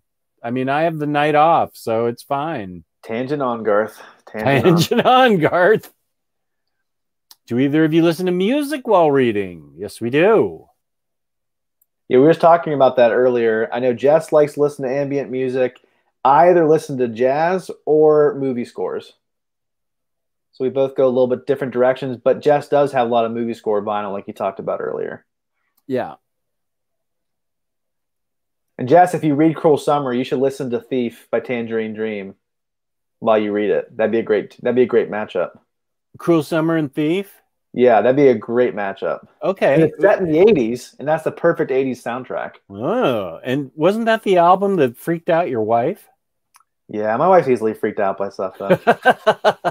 my wife thinks that my uh my Reaper Batman on the Bone Cycle is scary too. So He's awesome. yeah, I love that whole thing. yeah. She thought my Doctor Doom that's holding the skull and the vertebrae was freaky too, and that's like this is a sign of a great figure. uh, Joe Blair, I actually haven't studied uh, Record Store Day round two. I I still have online selections coming in. Um, I'm going to have to give it a good, uh, solid. Um, I'm going to have to give it a good long look because I don't know that I'm going to go back in per. I know the idea is to drive traffic to your local store, um, but it, when I got back home that day, I I- the line wasn't that bad, but I was still kind of tired from standing in line and then walking in there and everything I wanted was online for the same price and no tax and free shipping. Um, so I really didn't miss out. I, I could have just spent my whole time buying online. So I will study the record store day uh, options for in July, but I'm not sure I'm going to go stand in line again. That's that's up there with things that I really dislike. Standing in line. It doesn't sound like a Jess Bragg thing to do. No. And uh, Gabriel's asking, how good is the artwork in All New Wolverine? It's all fantastic. There's not one bad art artist. There's not one bad arc. It's all A plus material, and you have to buy it. Yeah, that's that's the last omnibus we're going to recommend to you, Gabriel. That's it. All new I- Wolverine. That's the book you should get. That's definitely in my top five favorite Marvel runs of all time. Maybe even top three. It's awesome. I'm so pleased to hear you say that. I really am because I love that book. Let me see. My favorite, my top five Marvel books would probably be Punisher Max, Daredevil by Bendis and Brubaker, All New Wolverine, and man, Marvels. I love Marvels. Oh yeah, Those are- Marvels They're great. probably my top five. They're fantastic. Uh, oh, Purveyor, you that should be your first omnibus Purveyor. You're just getting back into the Omni game. You should get that first. That's still in print and it's still awesome.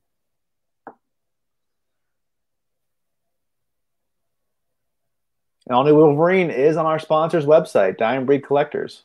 So you can ah, pick it up Dying. Breed Collectors has All New Wolverine. DyingBreedCollectors.com. So Jess, your top three, your top five favorite Marvel books. Let me see if I can guess them. Oh, okay. Wait, let me think of them. well, let me guess the ones I know you're going to say. My favorite fi- five Marvel books. Okay, I, let's. I know it's all new Wolverine we're talking about it. That's number one for you. Yeah. New X Men. Yeah. Hmm. What else is there that you'd really like? I'm trying to think. Can you think of top five? Or are you still? Yeah. No, I've got it. Hmm, this is a hard one. Is there another X Men choice in there? Yeah. Uncanny X Force? Yep. Okay. Okay, I'm three for five. Right. You have two more choices. Oh gosh. That's a hard one. I think I, I think you're I'm good with X Men. I think you're done with X Men. Yep, I am. Trying to think of characters that you would like that maybe I'm not interested in. I'm having a hard time with the last two. Hmm. Uh, let's see. Uh, do you want some hints? Yeah, give me some hints. Uh, they are older characters with modern runs that are my favorite. Fantastic Four by Hickman. Yep. Nice. Older characters. Older characters. Very good. You're doing well. I don't think a Spider-Man book would be in your top five. Nope. Older characters. Okay, so Fantastic Four is older. X Men's older older characters. Ah, dang it. I don't know what it is. I'm not sure. What is the last one? Silver Surfer by Slott. Ugh, I never would have guessed that. Oh, really? That's the book that made me cry. I know you. I know you love it, but you haven't talked about it in a while. So oh no, you. I guess that's true. I, I think you talked about the other ones a lot recently. I was I, pretty close though. Four for five. Oh my good. gosh, you did so well. I'm amazed. I, I actually try not to talk about Silver Surfer by Slott because it's out of print. I, I I have a terrible story about that book. So I didn't, I didn't jump on it right away, and it went out of print so quick. And then oh yeah, IST put up and they put it up that they had it. And everyone went crazy, and we all we all bought it. It turns out they didn't actually have it. It was a glitch. I was so upset because that book is. I think the two books are the hardest to find right now. Are probably that and Wonder Woman by Gail Simone. Those books oh. are they are literally impossible to find. Like I'm not even joking. They're like not even on eBay. They're like really impossible. Or, or if they are on eBay, it's for an exorbitant amount of money. Those are like two of my biggest whales. My my three biggest whales are Wonder Woman by Gail Simone, Silver Surfer by Slott, and Punisher Noir. Because it's the last Marvel Noir book I need. It's so dumb. It's not even a book that people really want, but it's a book that I want. That's what's holding up our noir review. I have to pick it up. I, I Jess, can you imagine how good I'm gonna feel when I finally get that book for cover? If you stumble on it in a comic store. But how bad will I feel if I hate it? oh, oh yeah, we I haven't even read it yet because I've been waiting for our we, review. We have no idea if we're gonna like these books or not. We've invested so much time oh, I know. finding them. Hopefully, we like them. Yeah. Um, let's see now. Joe Chip's really going going full blast with the Jess Bragg jokes tonight. Oh, Joe, you're all over me. It's okay. I am an older character. I I'm I'm fine with it. Uh which cover should I get? Uh, which whichever one appeals to you, Purveyor. Here's the one. I, I, I think Taylor and I got different ones. I got the variant cover by Kubert. I love it. And I think I got the other cover. Uh, it's whichever cover appeals to you. Look how cool this cover is. That is a cool cover. They're both great, so you can't really go wrong. Usually, yeah. I think one's much better than the other. I do think the one I got is better, but I can see why people get the other one too. I think that one's by Bengal, right? Oh, I think so. Yeah. Um, All New Wolverine is not the sequel to Old Man Logan Atit. It is uh, Laura taking over for um, Logan. For Logan, um, for Wolverine after he gets killed, and uh, X twenty three takes over the all new uh, takes over the Wolverine mantle. But there is an old man, old man Logan S story at the end where it wraps up called "Old Old Woman Laura," which is great. Yeah, it's, it's not tied to Old Man Logan at all, but it's just aping that title. I'm, gosh, I should read that book again. That's a, that's going to be a definite reread for me. Like we just did our episode about books that we love to reread. I would yeah. have included that, but I've only read it once. So I can't really put it in my favorite books to reread, but I know I'm going to reread that every year or two because it's so good and it's a really quick read. That's right, Atit. Lad, the precursor to Iron Man. You got it, buddy. Did you cry when Lad died? Uh, I did not cry, but as an eight-year-old, I was moved, and then I was scared when his ghost came back and was seen on uh, in the Legion Fortress. We both need to read The Legion by Brian Bendis. Uh, I think I have it. It's on Hoopla, so I can check it out that way. Yeah, and another thing I want to read by Bendis is his Young Justice. I have to get all the Superman books by him. I need to pick those up sometime soon. I I like the first couple ones I read on Hoopla. I like yeah. enough to pick them up. I think we're in the minority of liking that run. I, we seem to be in the minority of people that like Bendis. I don't know like, why. It's it's crazy. He's I feel like a lot of people hate him, but a lot of people have to love him. He's one of the most popular writers in comics, and he constantly sells well. So, do you, do you feel like that uh, criticism and I don't want to say hate, but but well, okay, criticism and hate seem to be louder than love and respect when it comes well when it comes to everything but particularly our hobby. I think that sometimes bendis likes to shake things up and do things that are different. So i think a big complaint that i hear with, with bendis people don't like bendis is that he doesn't write the characters the way they've always been written that right. he doesn't maybe understand their background like the moon knight run i've heard a lot of people complain saying that's not moon knight or the x-men characters he doesn't understand the x-men characters and so he he does things and goes in a different direction than people would like him to. That's what I like about him is that he takes characters in a different direction. Right. So I think some people just think he goes too far afield and doesn't understand the characters the way that they were created. And I think sometimes he wants it to go in a different direction, do something totally different. And some people just aren't on board for that ride. But do you think, with the rise of social media being as powerful as it is, that the the volume of of uh, hate tends to be louder than the volume of uh, people liking things?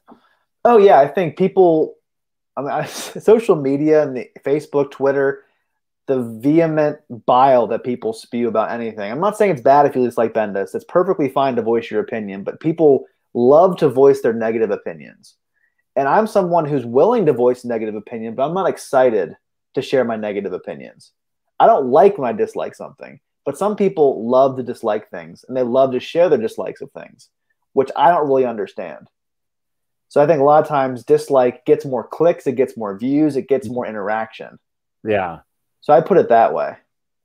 But I think people don't understand how much we owe to Brian Bendis. I think the two guys who really helped save Marvel Comics are Brian Bendis and Kevin Smith. Without them, Marvel might not even be here because they really brought back the line in a big bad way. Like Kevin Smith doing Daredevil was a big deal back when Marvel was in bankruptcy. And Brian Bendis says, when I started at Marvel, they were like selling filing cabinets because they were bankrupt, needed money. Can you imagine know that? Can you imagine that now? They're at the behemoth and they have so much money now, especially with the MCU and being bought by Disney. Yeah. It's, it's almost laughable to think about that. They were literally selling filing cabinets. And Joe, Cas- actually, I'll, I'll put it this way Joe Quesada, Bendis, and Kevin Smith are really the reason why Marvel's even here now today. As much as you're mad about Joe Quesada about the JMS run of Spider Man, without them, we wouldn't have Marvel today. Mm, okay. Fair. It's similar to how without uh, Neal Adams, we wouldn't have Batman as he is today, even though Neal Adams isn't the best artist that he used to be. But we still owe him so much for what he used to be and what he used to do. Right, and I'd throw Denny O'Neil in there too. Right, I just, writing him. I just mean I think Neal Adams' artwork went much more downhill and he went too long than he should have. Whereas Denny O'Neil, I think, has more. I think he kind of ended when the getting was good. you know? Right. I agree with that. Yeah. No, I, you're right about that. But I think most people agree, for the most part, that Bendis's Ultimate Spider-Man and his Daredevil are really good. not saying everyone agrees with that. I know Tyler and Omar don't like his Daredevil run, but for the vast majority of people, people love those runs. I okay. I've already said I like Bendis. I've, I, have liked just about everything I've read by him. Actually, I've liked everything I've read by him. The only, thing I didn't like, the only thing I didn't like was Scarlet, and that's more of a personal thing than anything uh, else. Yeah, and I liked Scarlet too. Whoa, it's 4 a.m. in Scotland. We've got Hayden back. Even for a childless person, that's late. that is late. 4 a.m. is late. I can't remember last time I was up at 4 a.m. Uh, you you operate at 4 a.m. sometimes. I got up at 4 a.m. this morning. Wow. Yeah, you never I'm know dragging. when Jess, you never know when Jess is going to wake up or go to sleep. No, and you never know how I'm going to feel either. I felt good when I woke up, so I said I better get up right now and enjoy it. Do you ever feel like your life is a roll of the dice every day? Oh yeah, up? oh 100%. I absolutely do. Every I, day you wake up, it's like, what's it going to be today? And you just throw yep, it out. Hundred percent. Until I, I get the, in general. Till I get that pain pump, that is how my life is. And man, 40's here. Hey, and man didn't the Spider-Man movie from 2002 kind of jumpstart things again for Marvel? That was definitely one of the other catalysts, I think. Yeah, I was more talking about from the comics angle. I think that definitely generated some interest in the character and in the company. But Bendis doing Ultimate Spider-Man, Kevin Smith and Joe Quesada doing Daredevil, and Joe Quesada overseeing the company. I think those different books and those different initiatives really helped bring Marvel back from the brink. And Jess, there's a question from Joe Blair that only you can answer. Uh, Promethea may be, along with Tom Strong and top 10, my three. Fi- oh, there's Swamp Thing too. Uh, Promethea is one of my favorite Alan Moore books. It It is very philosophical.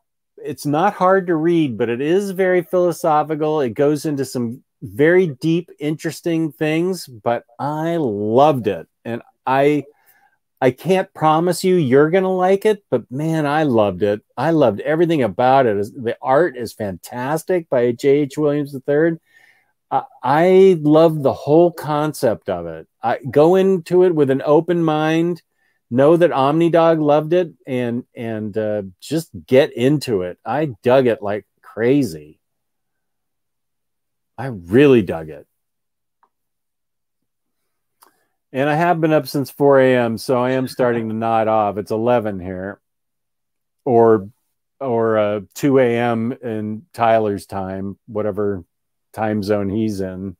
Ah, what? Good question. Whoop. What's the code again? I'm glad you asked. Thank you, Purveyor. If you go to our sponsor, dyingbreedcollectors.com, it's all one word. I spelled it out so it's easier to um, type out. DyingBreedCollectors.com. Use the code Crime Dog, and for 10% off of the Criminal hardcover set, volumes one through three, gets you 10% off from now until Monday, the 21st at midnight Go to dyingbreedcollectors.com, get 10% off the set of criminal using the code crime dog. And we thank Dying Breed Collectors for his support. He's a good guy. And one final question I want to answer by Farhan. Just started getting the Star Wars, got the Aaron J- Jason Aaron run. My question now is Darth Vader by Gillen or Soule for you guys? Which one is better? Oh, do I have to choose? Both are great, but my personal favorite is the Soule Run. And my personal favorite is the Gillen Run. So sorry. Good luck. you should buy both of them, actually. You really should. Gillen has the introduction of Dr. Aphra, which was one of the great character creations uh, of the modern era. I think Tyler Blunt liked the Soule Run better if that helps you at all, which it probably doesn't. Yeah. Well, thank you, chat, for talking. We had a lot of fun with you guys talking Bond and some tangents and talking about lime drinks to the face. thank you to the chat very much. You guys were great tonight. Uh, lots of uh, lots of regulars, which we appreciate, and lots of new people, which we appreciate. We appreciate DyingBreedCollectors.com for sponsoring us. Thank you guys so much uh, for hanging in there and watching. I uh, am uh, happy to have the Minister of Comics as my co-host. Where can they find you on the internet? You can find me at Minister of Comics on Instagram. I'll be posting a haul tomorrow. I do reviews. I do some reels as well. So check me out at Minister of Comics. And you can find me, OmniDog, on OmniDog's Vault. I'm going to start churning out um, videos on a more regular basis, hopefully, once I start feeling better.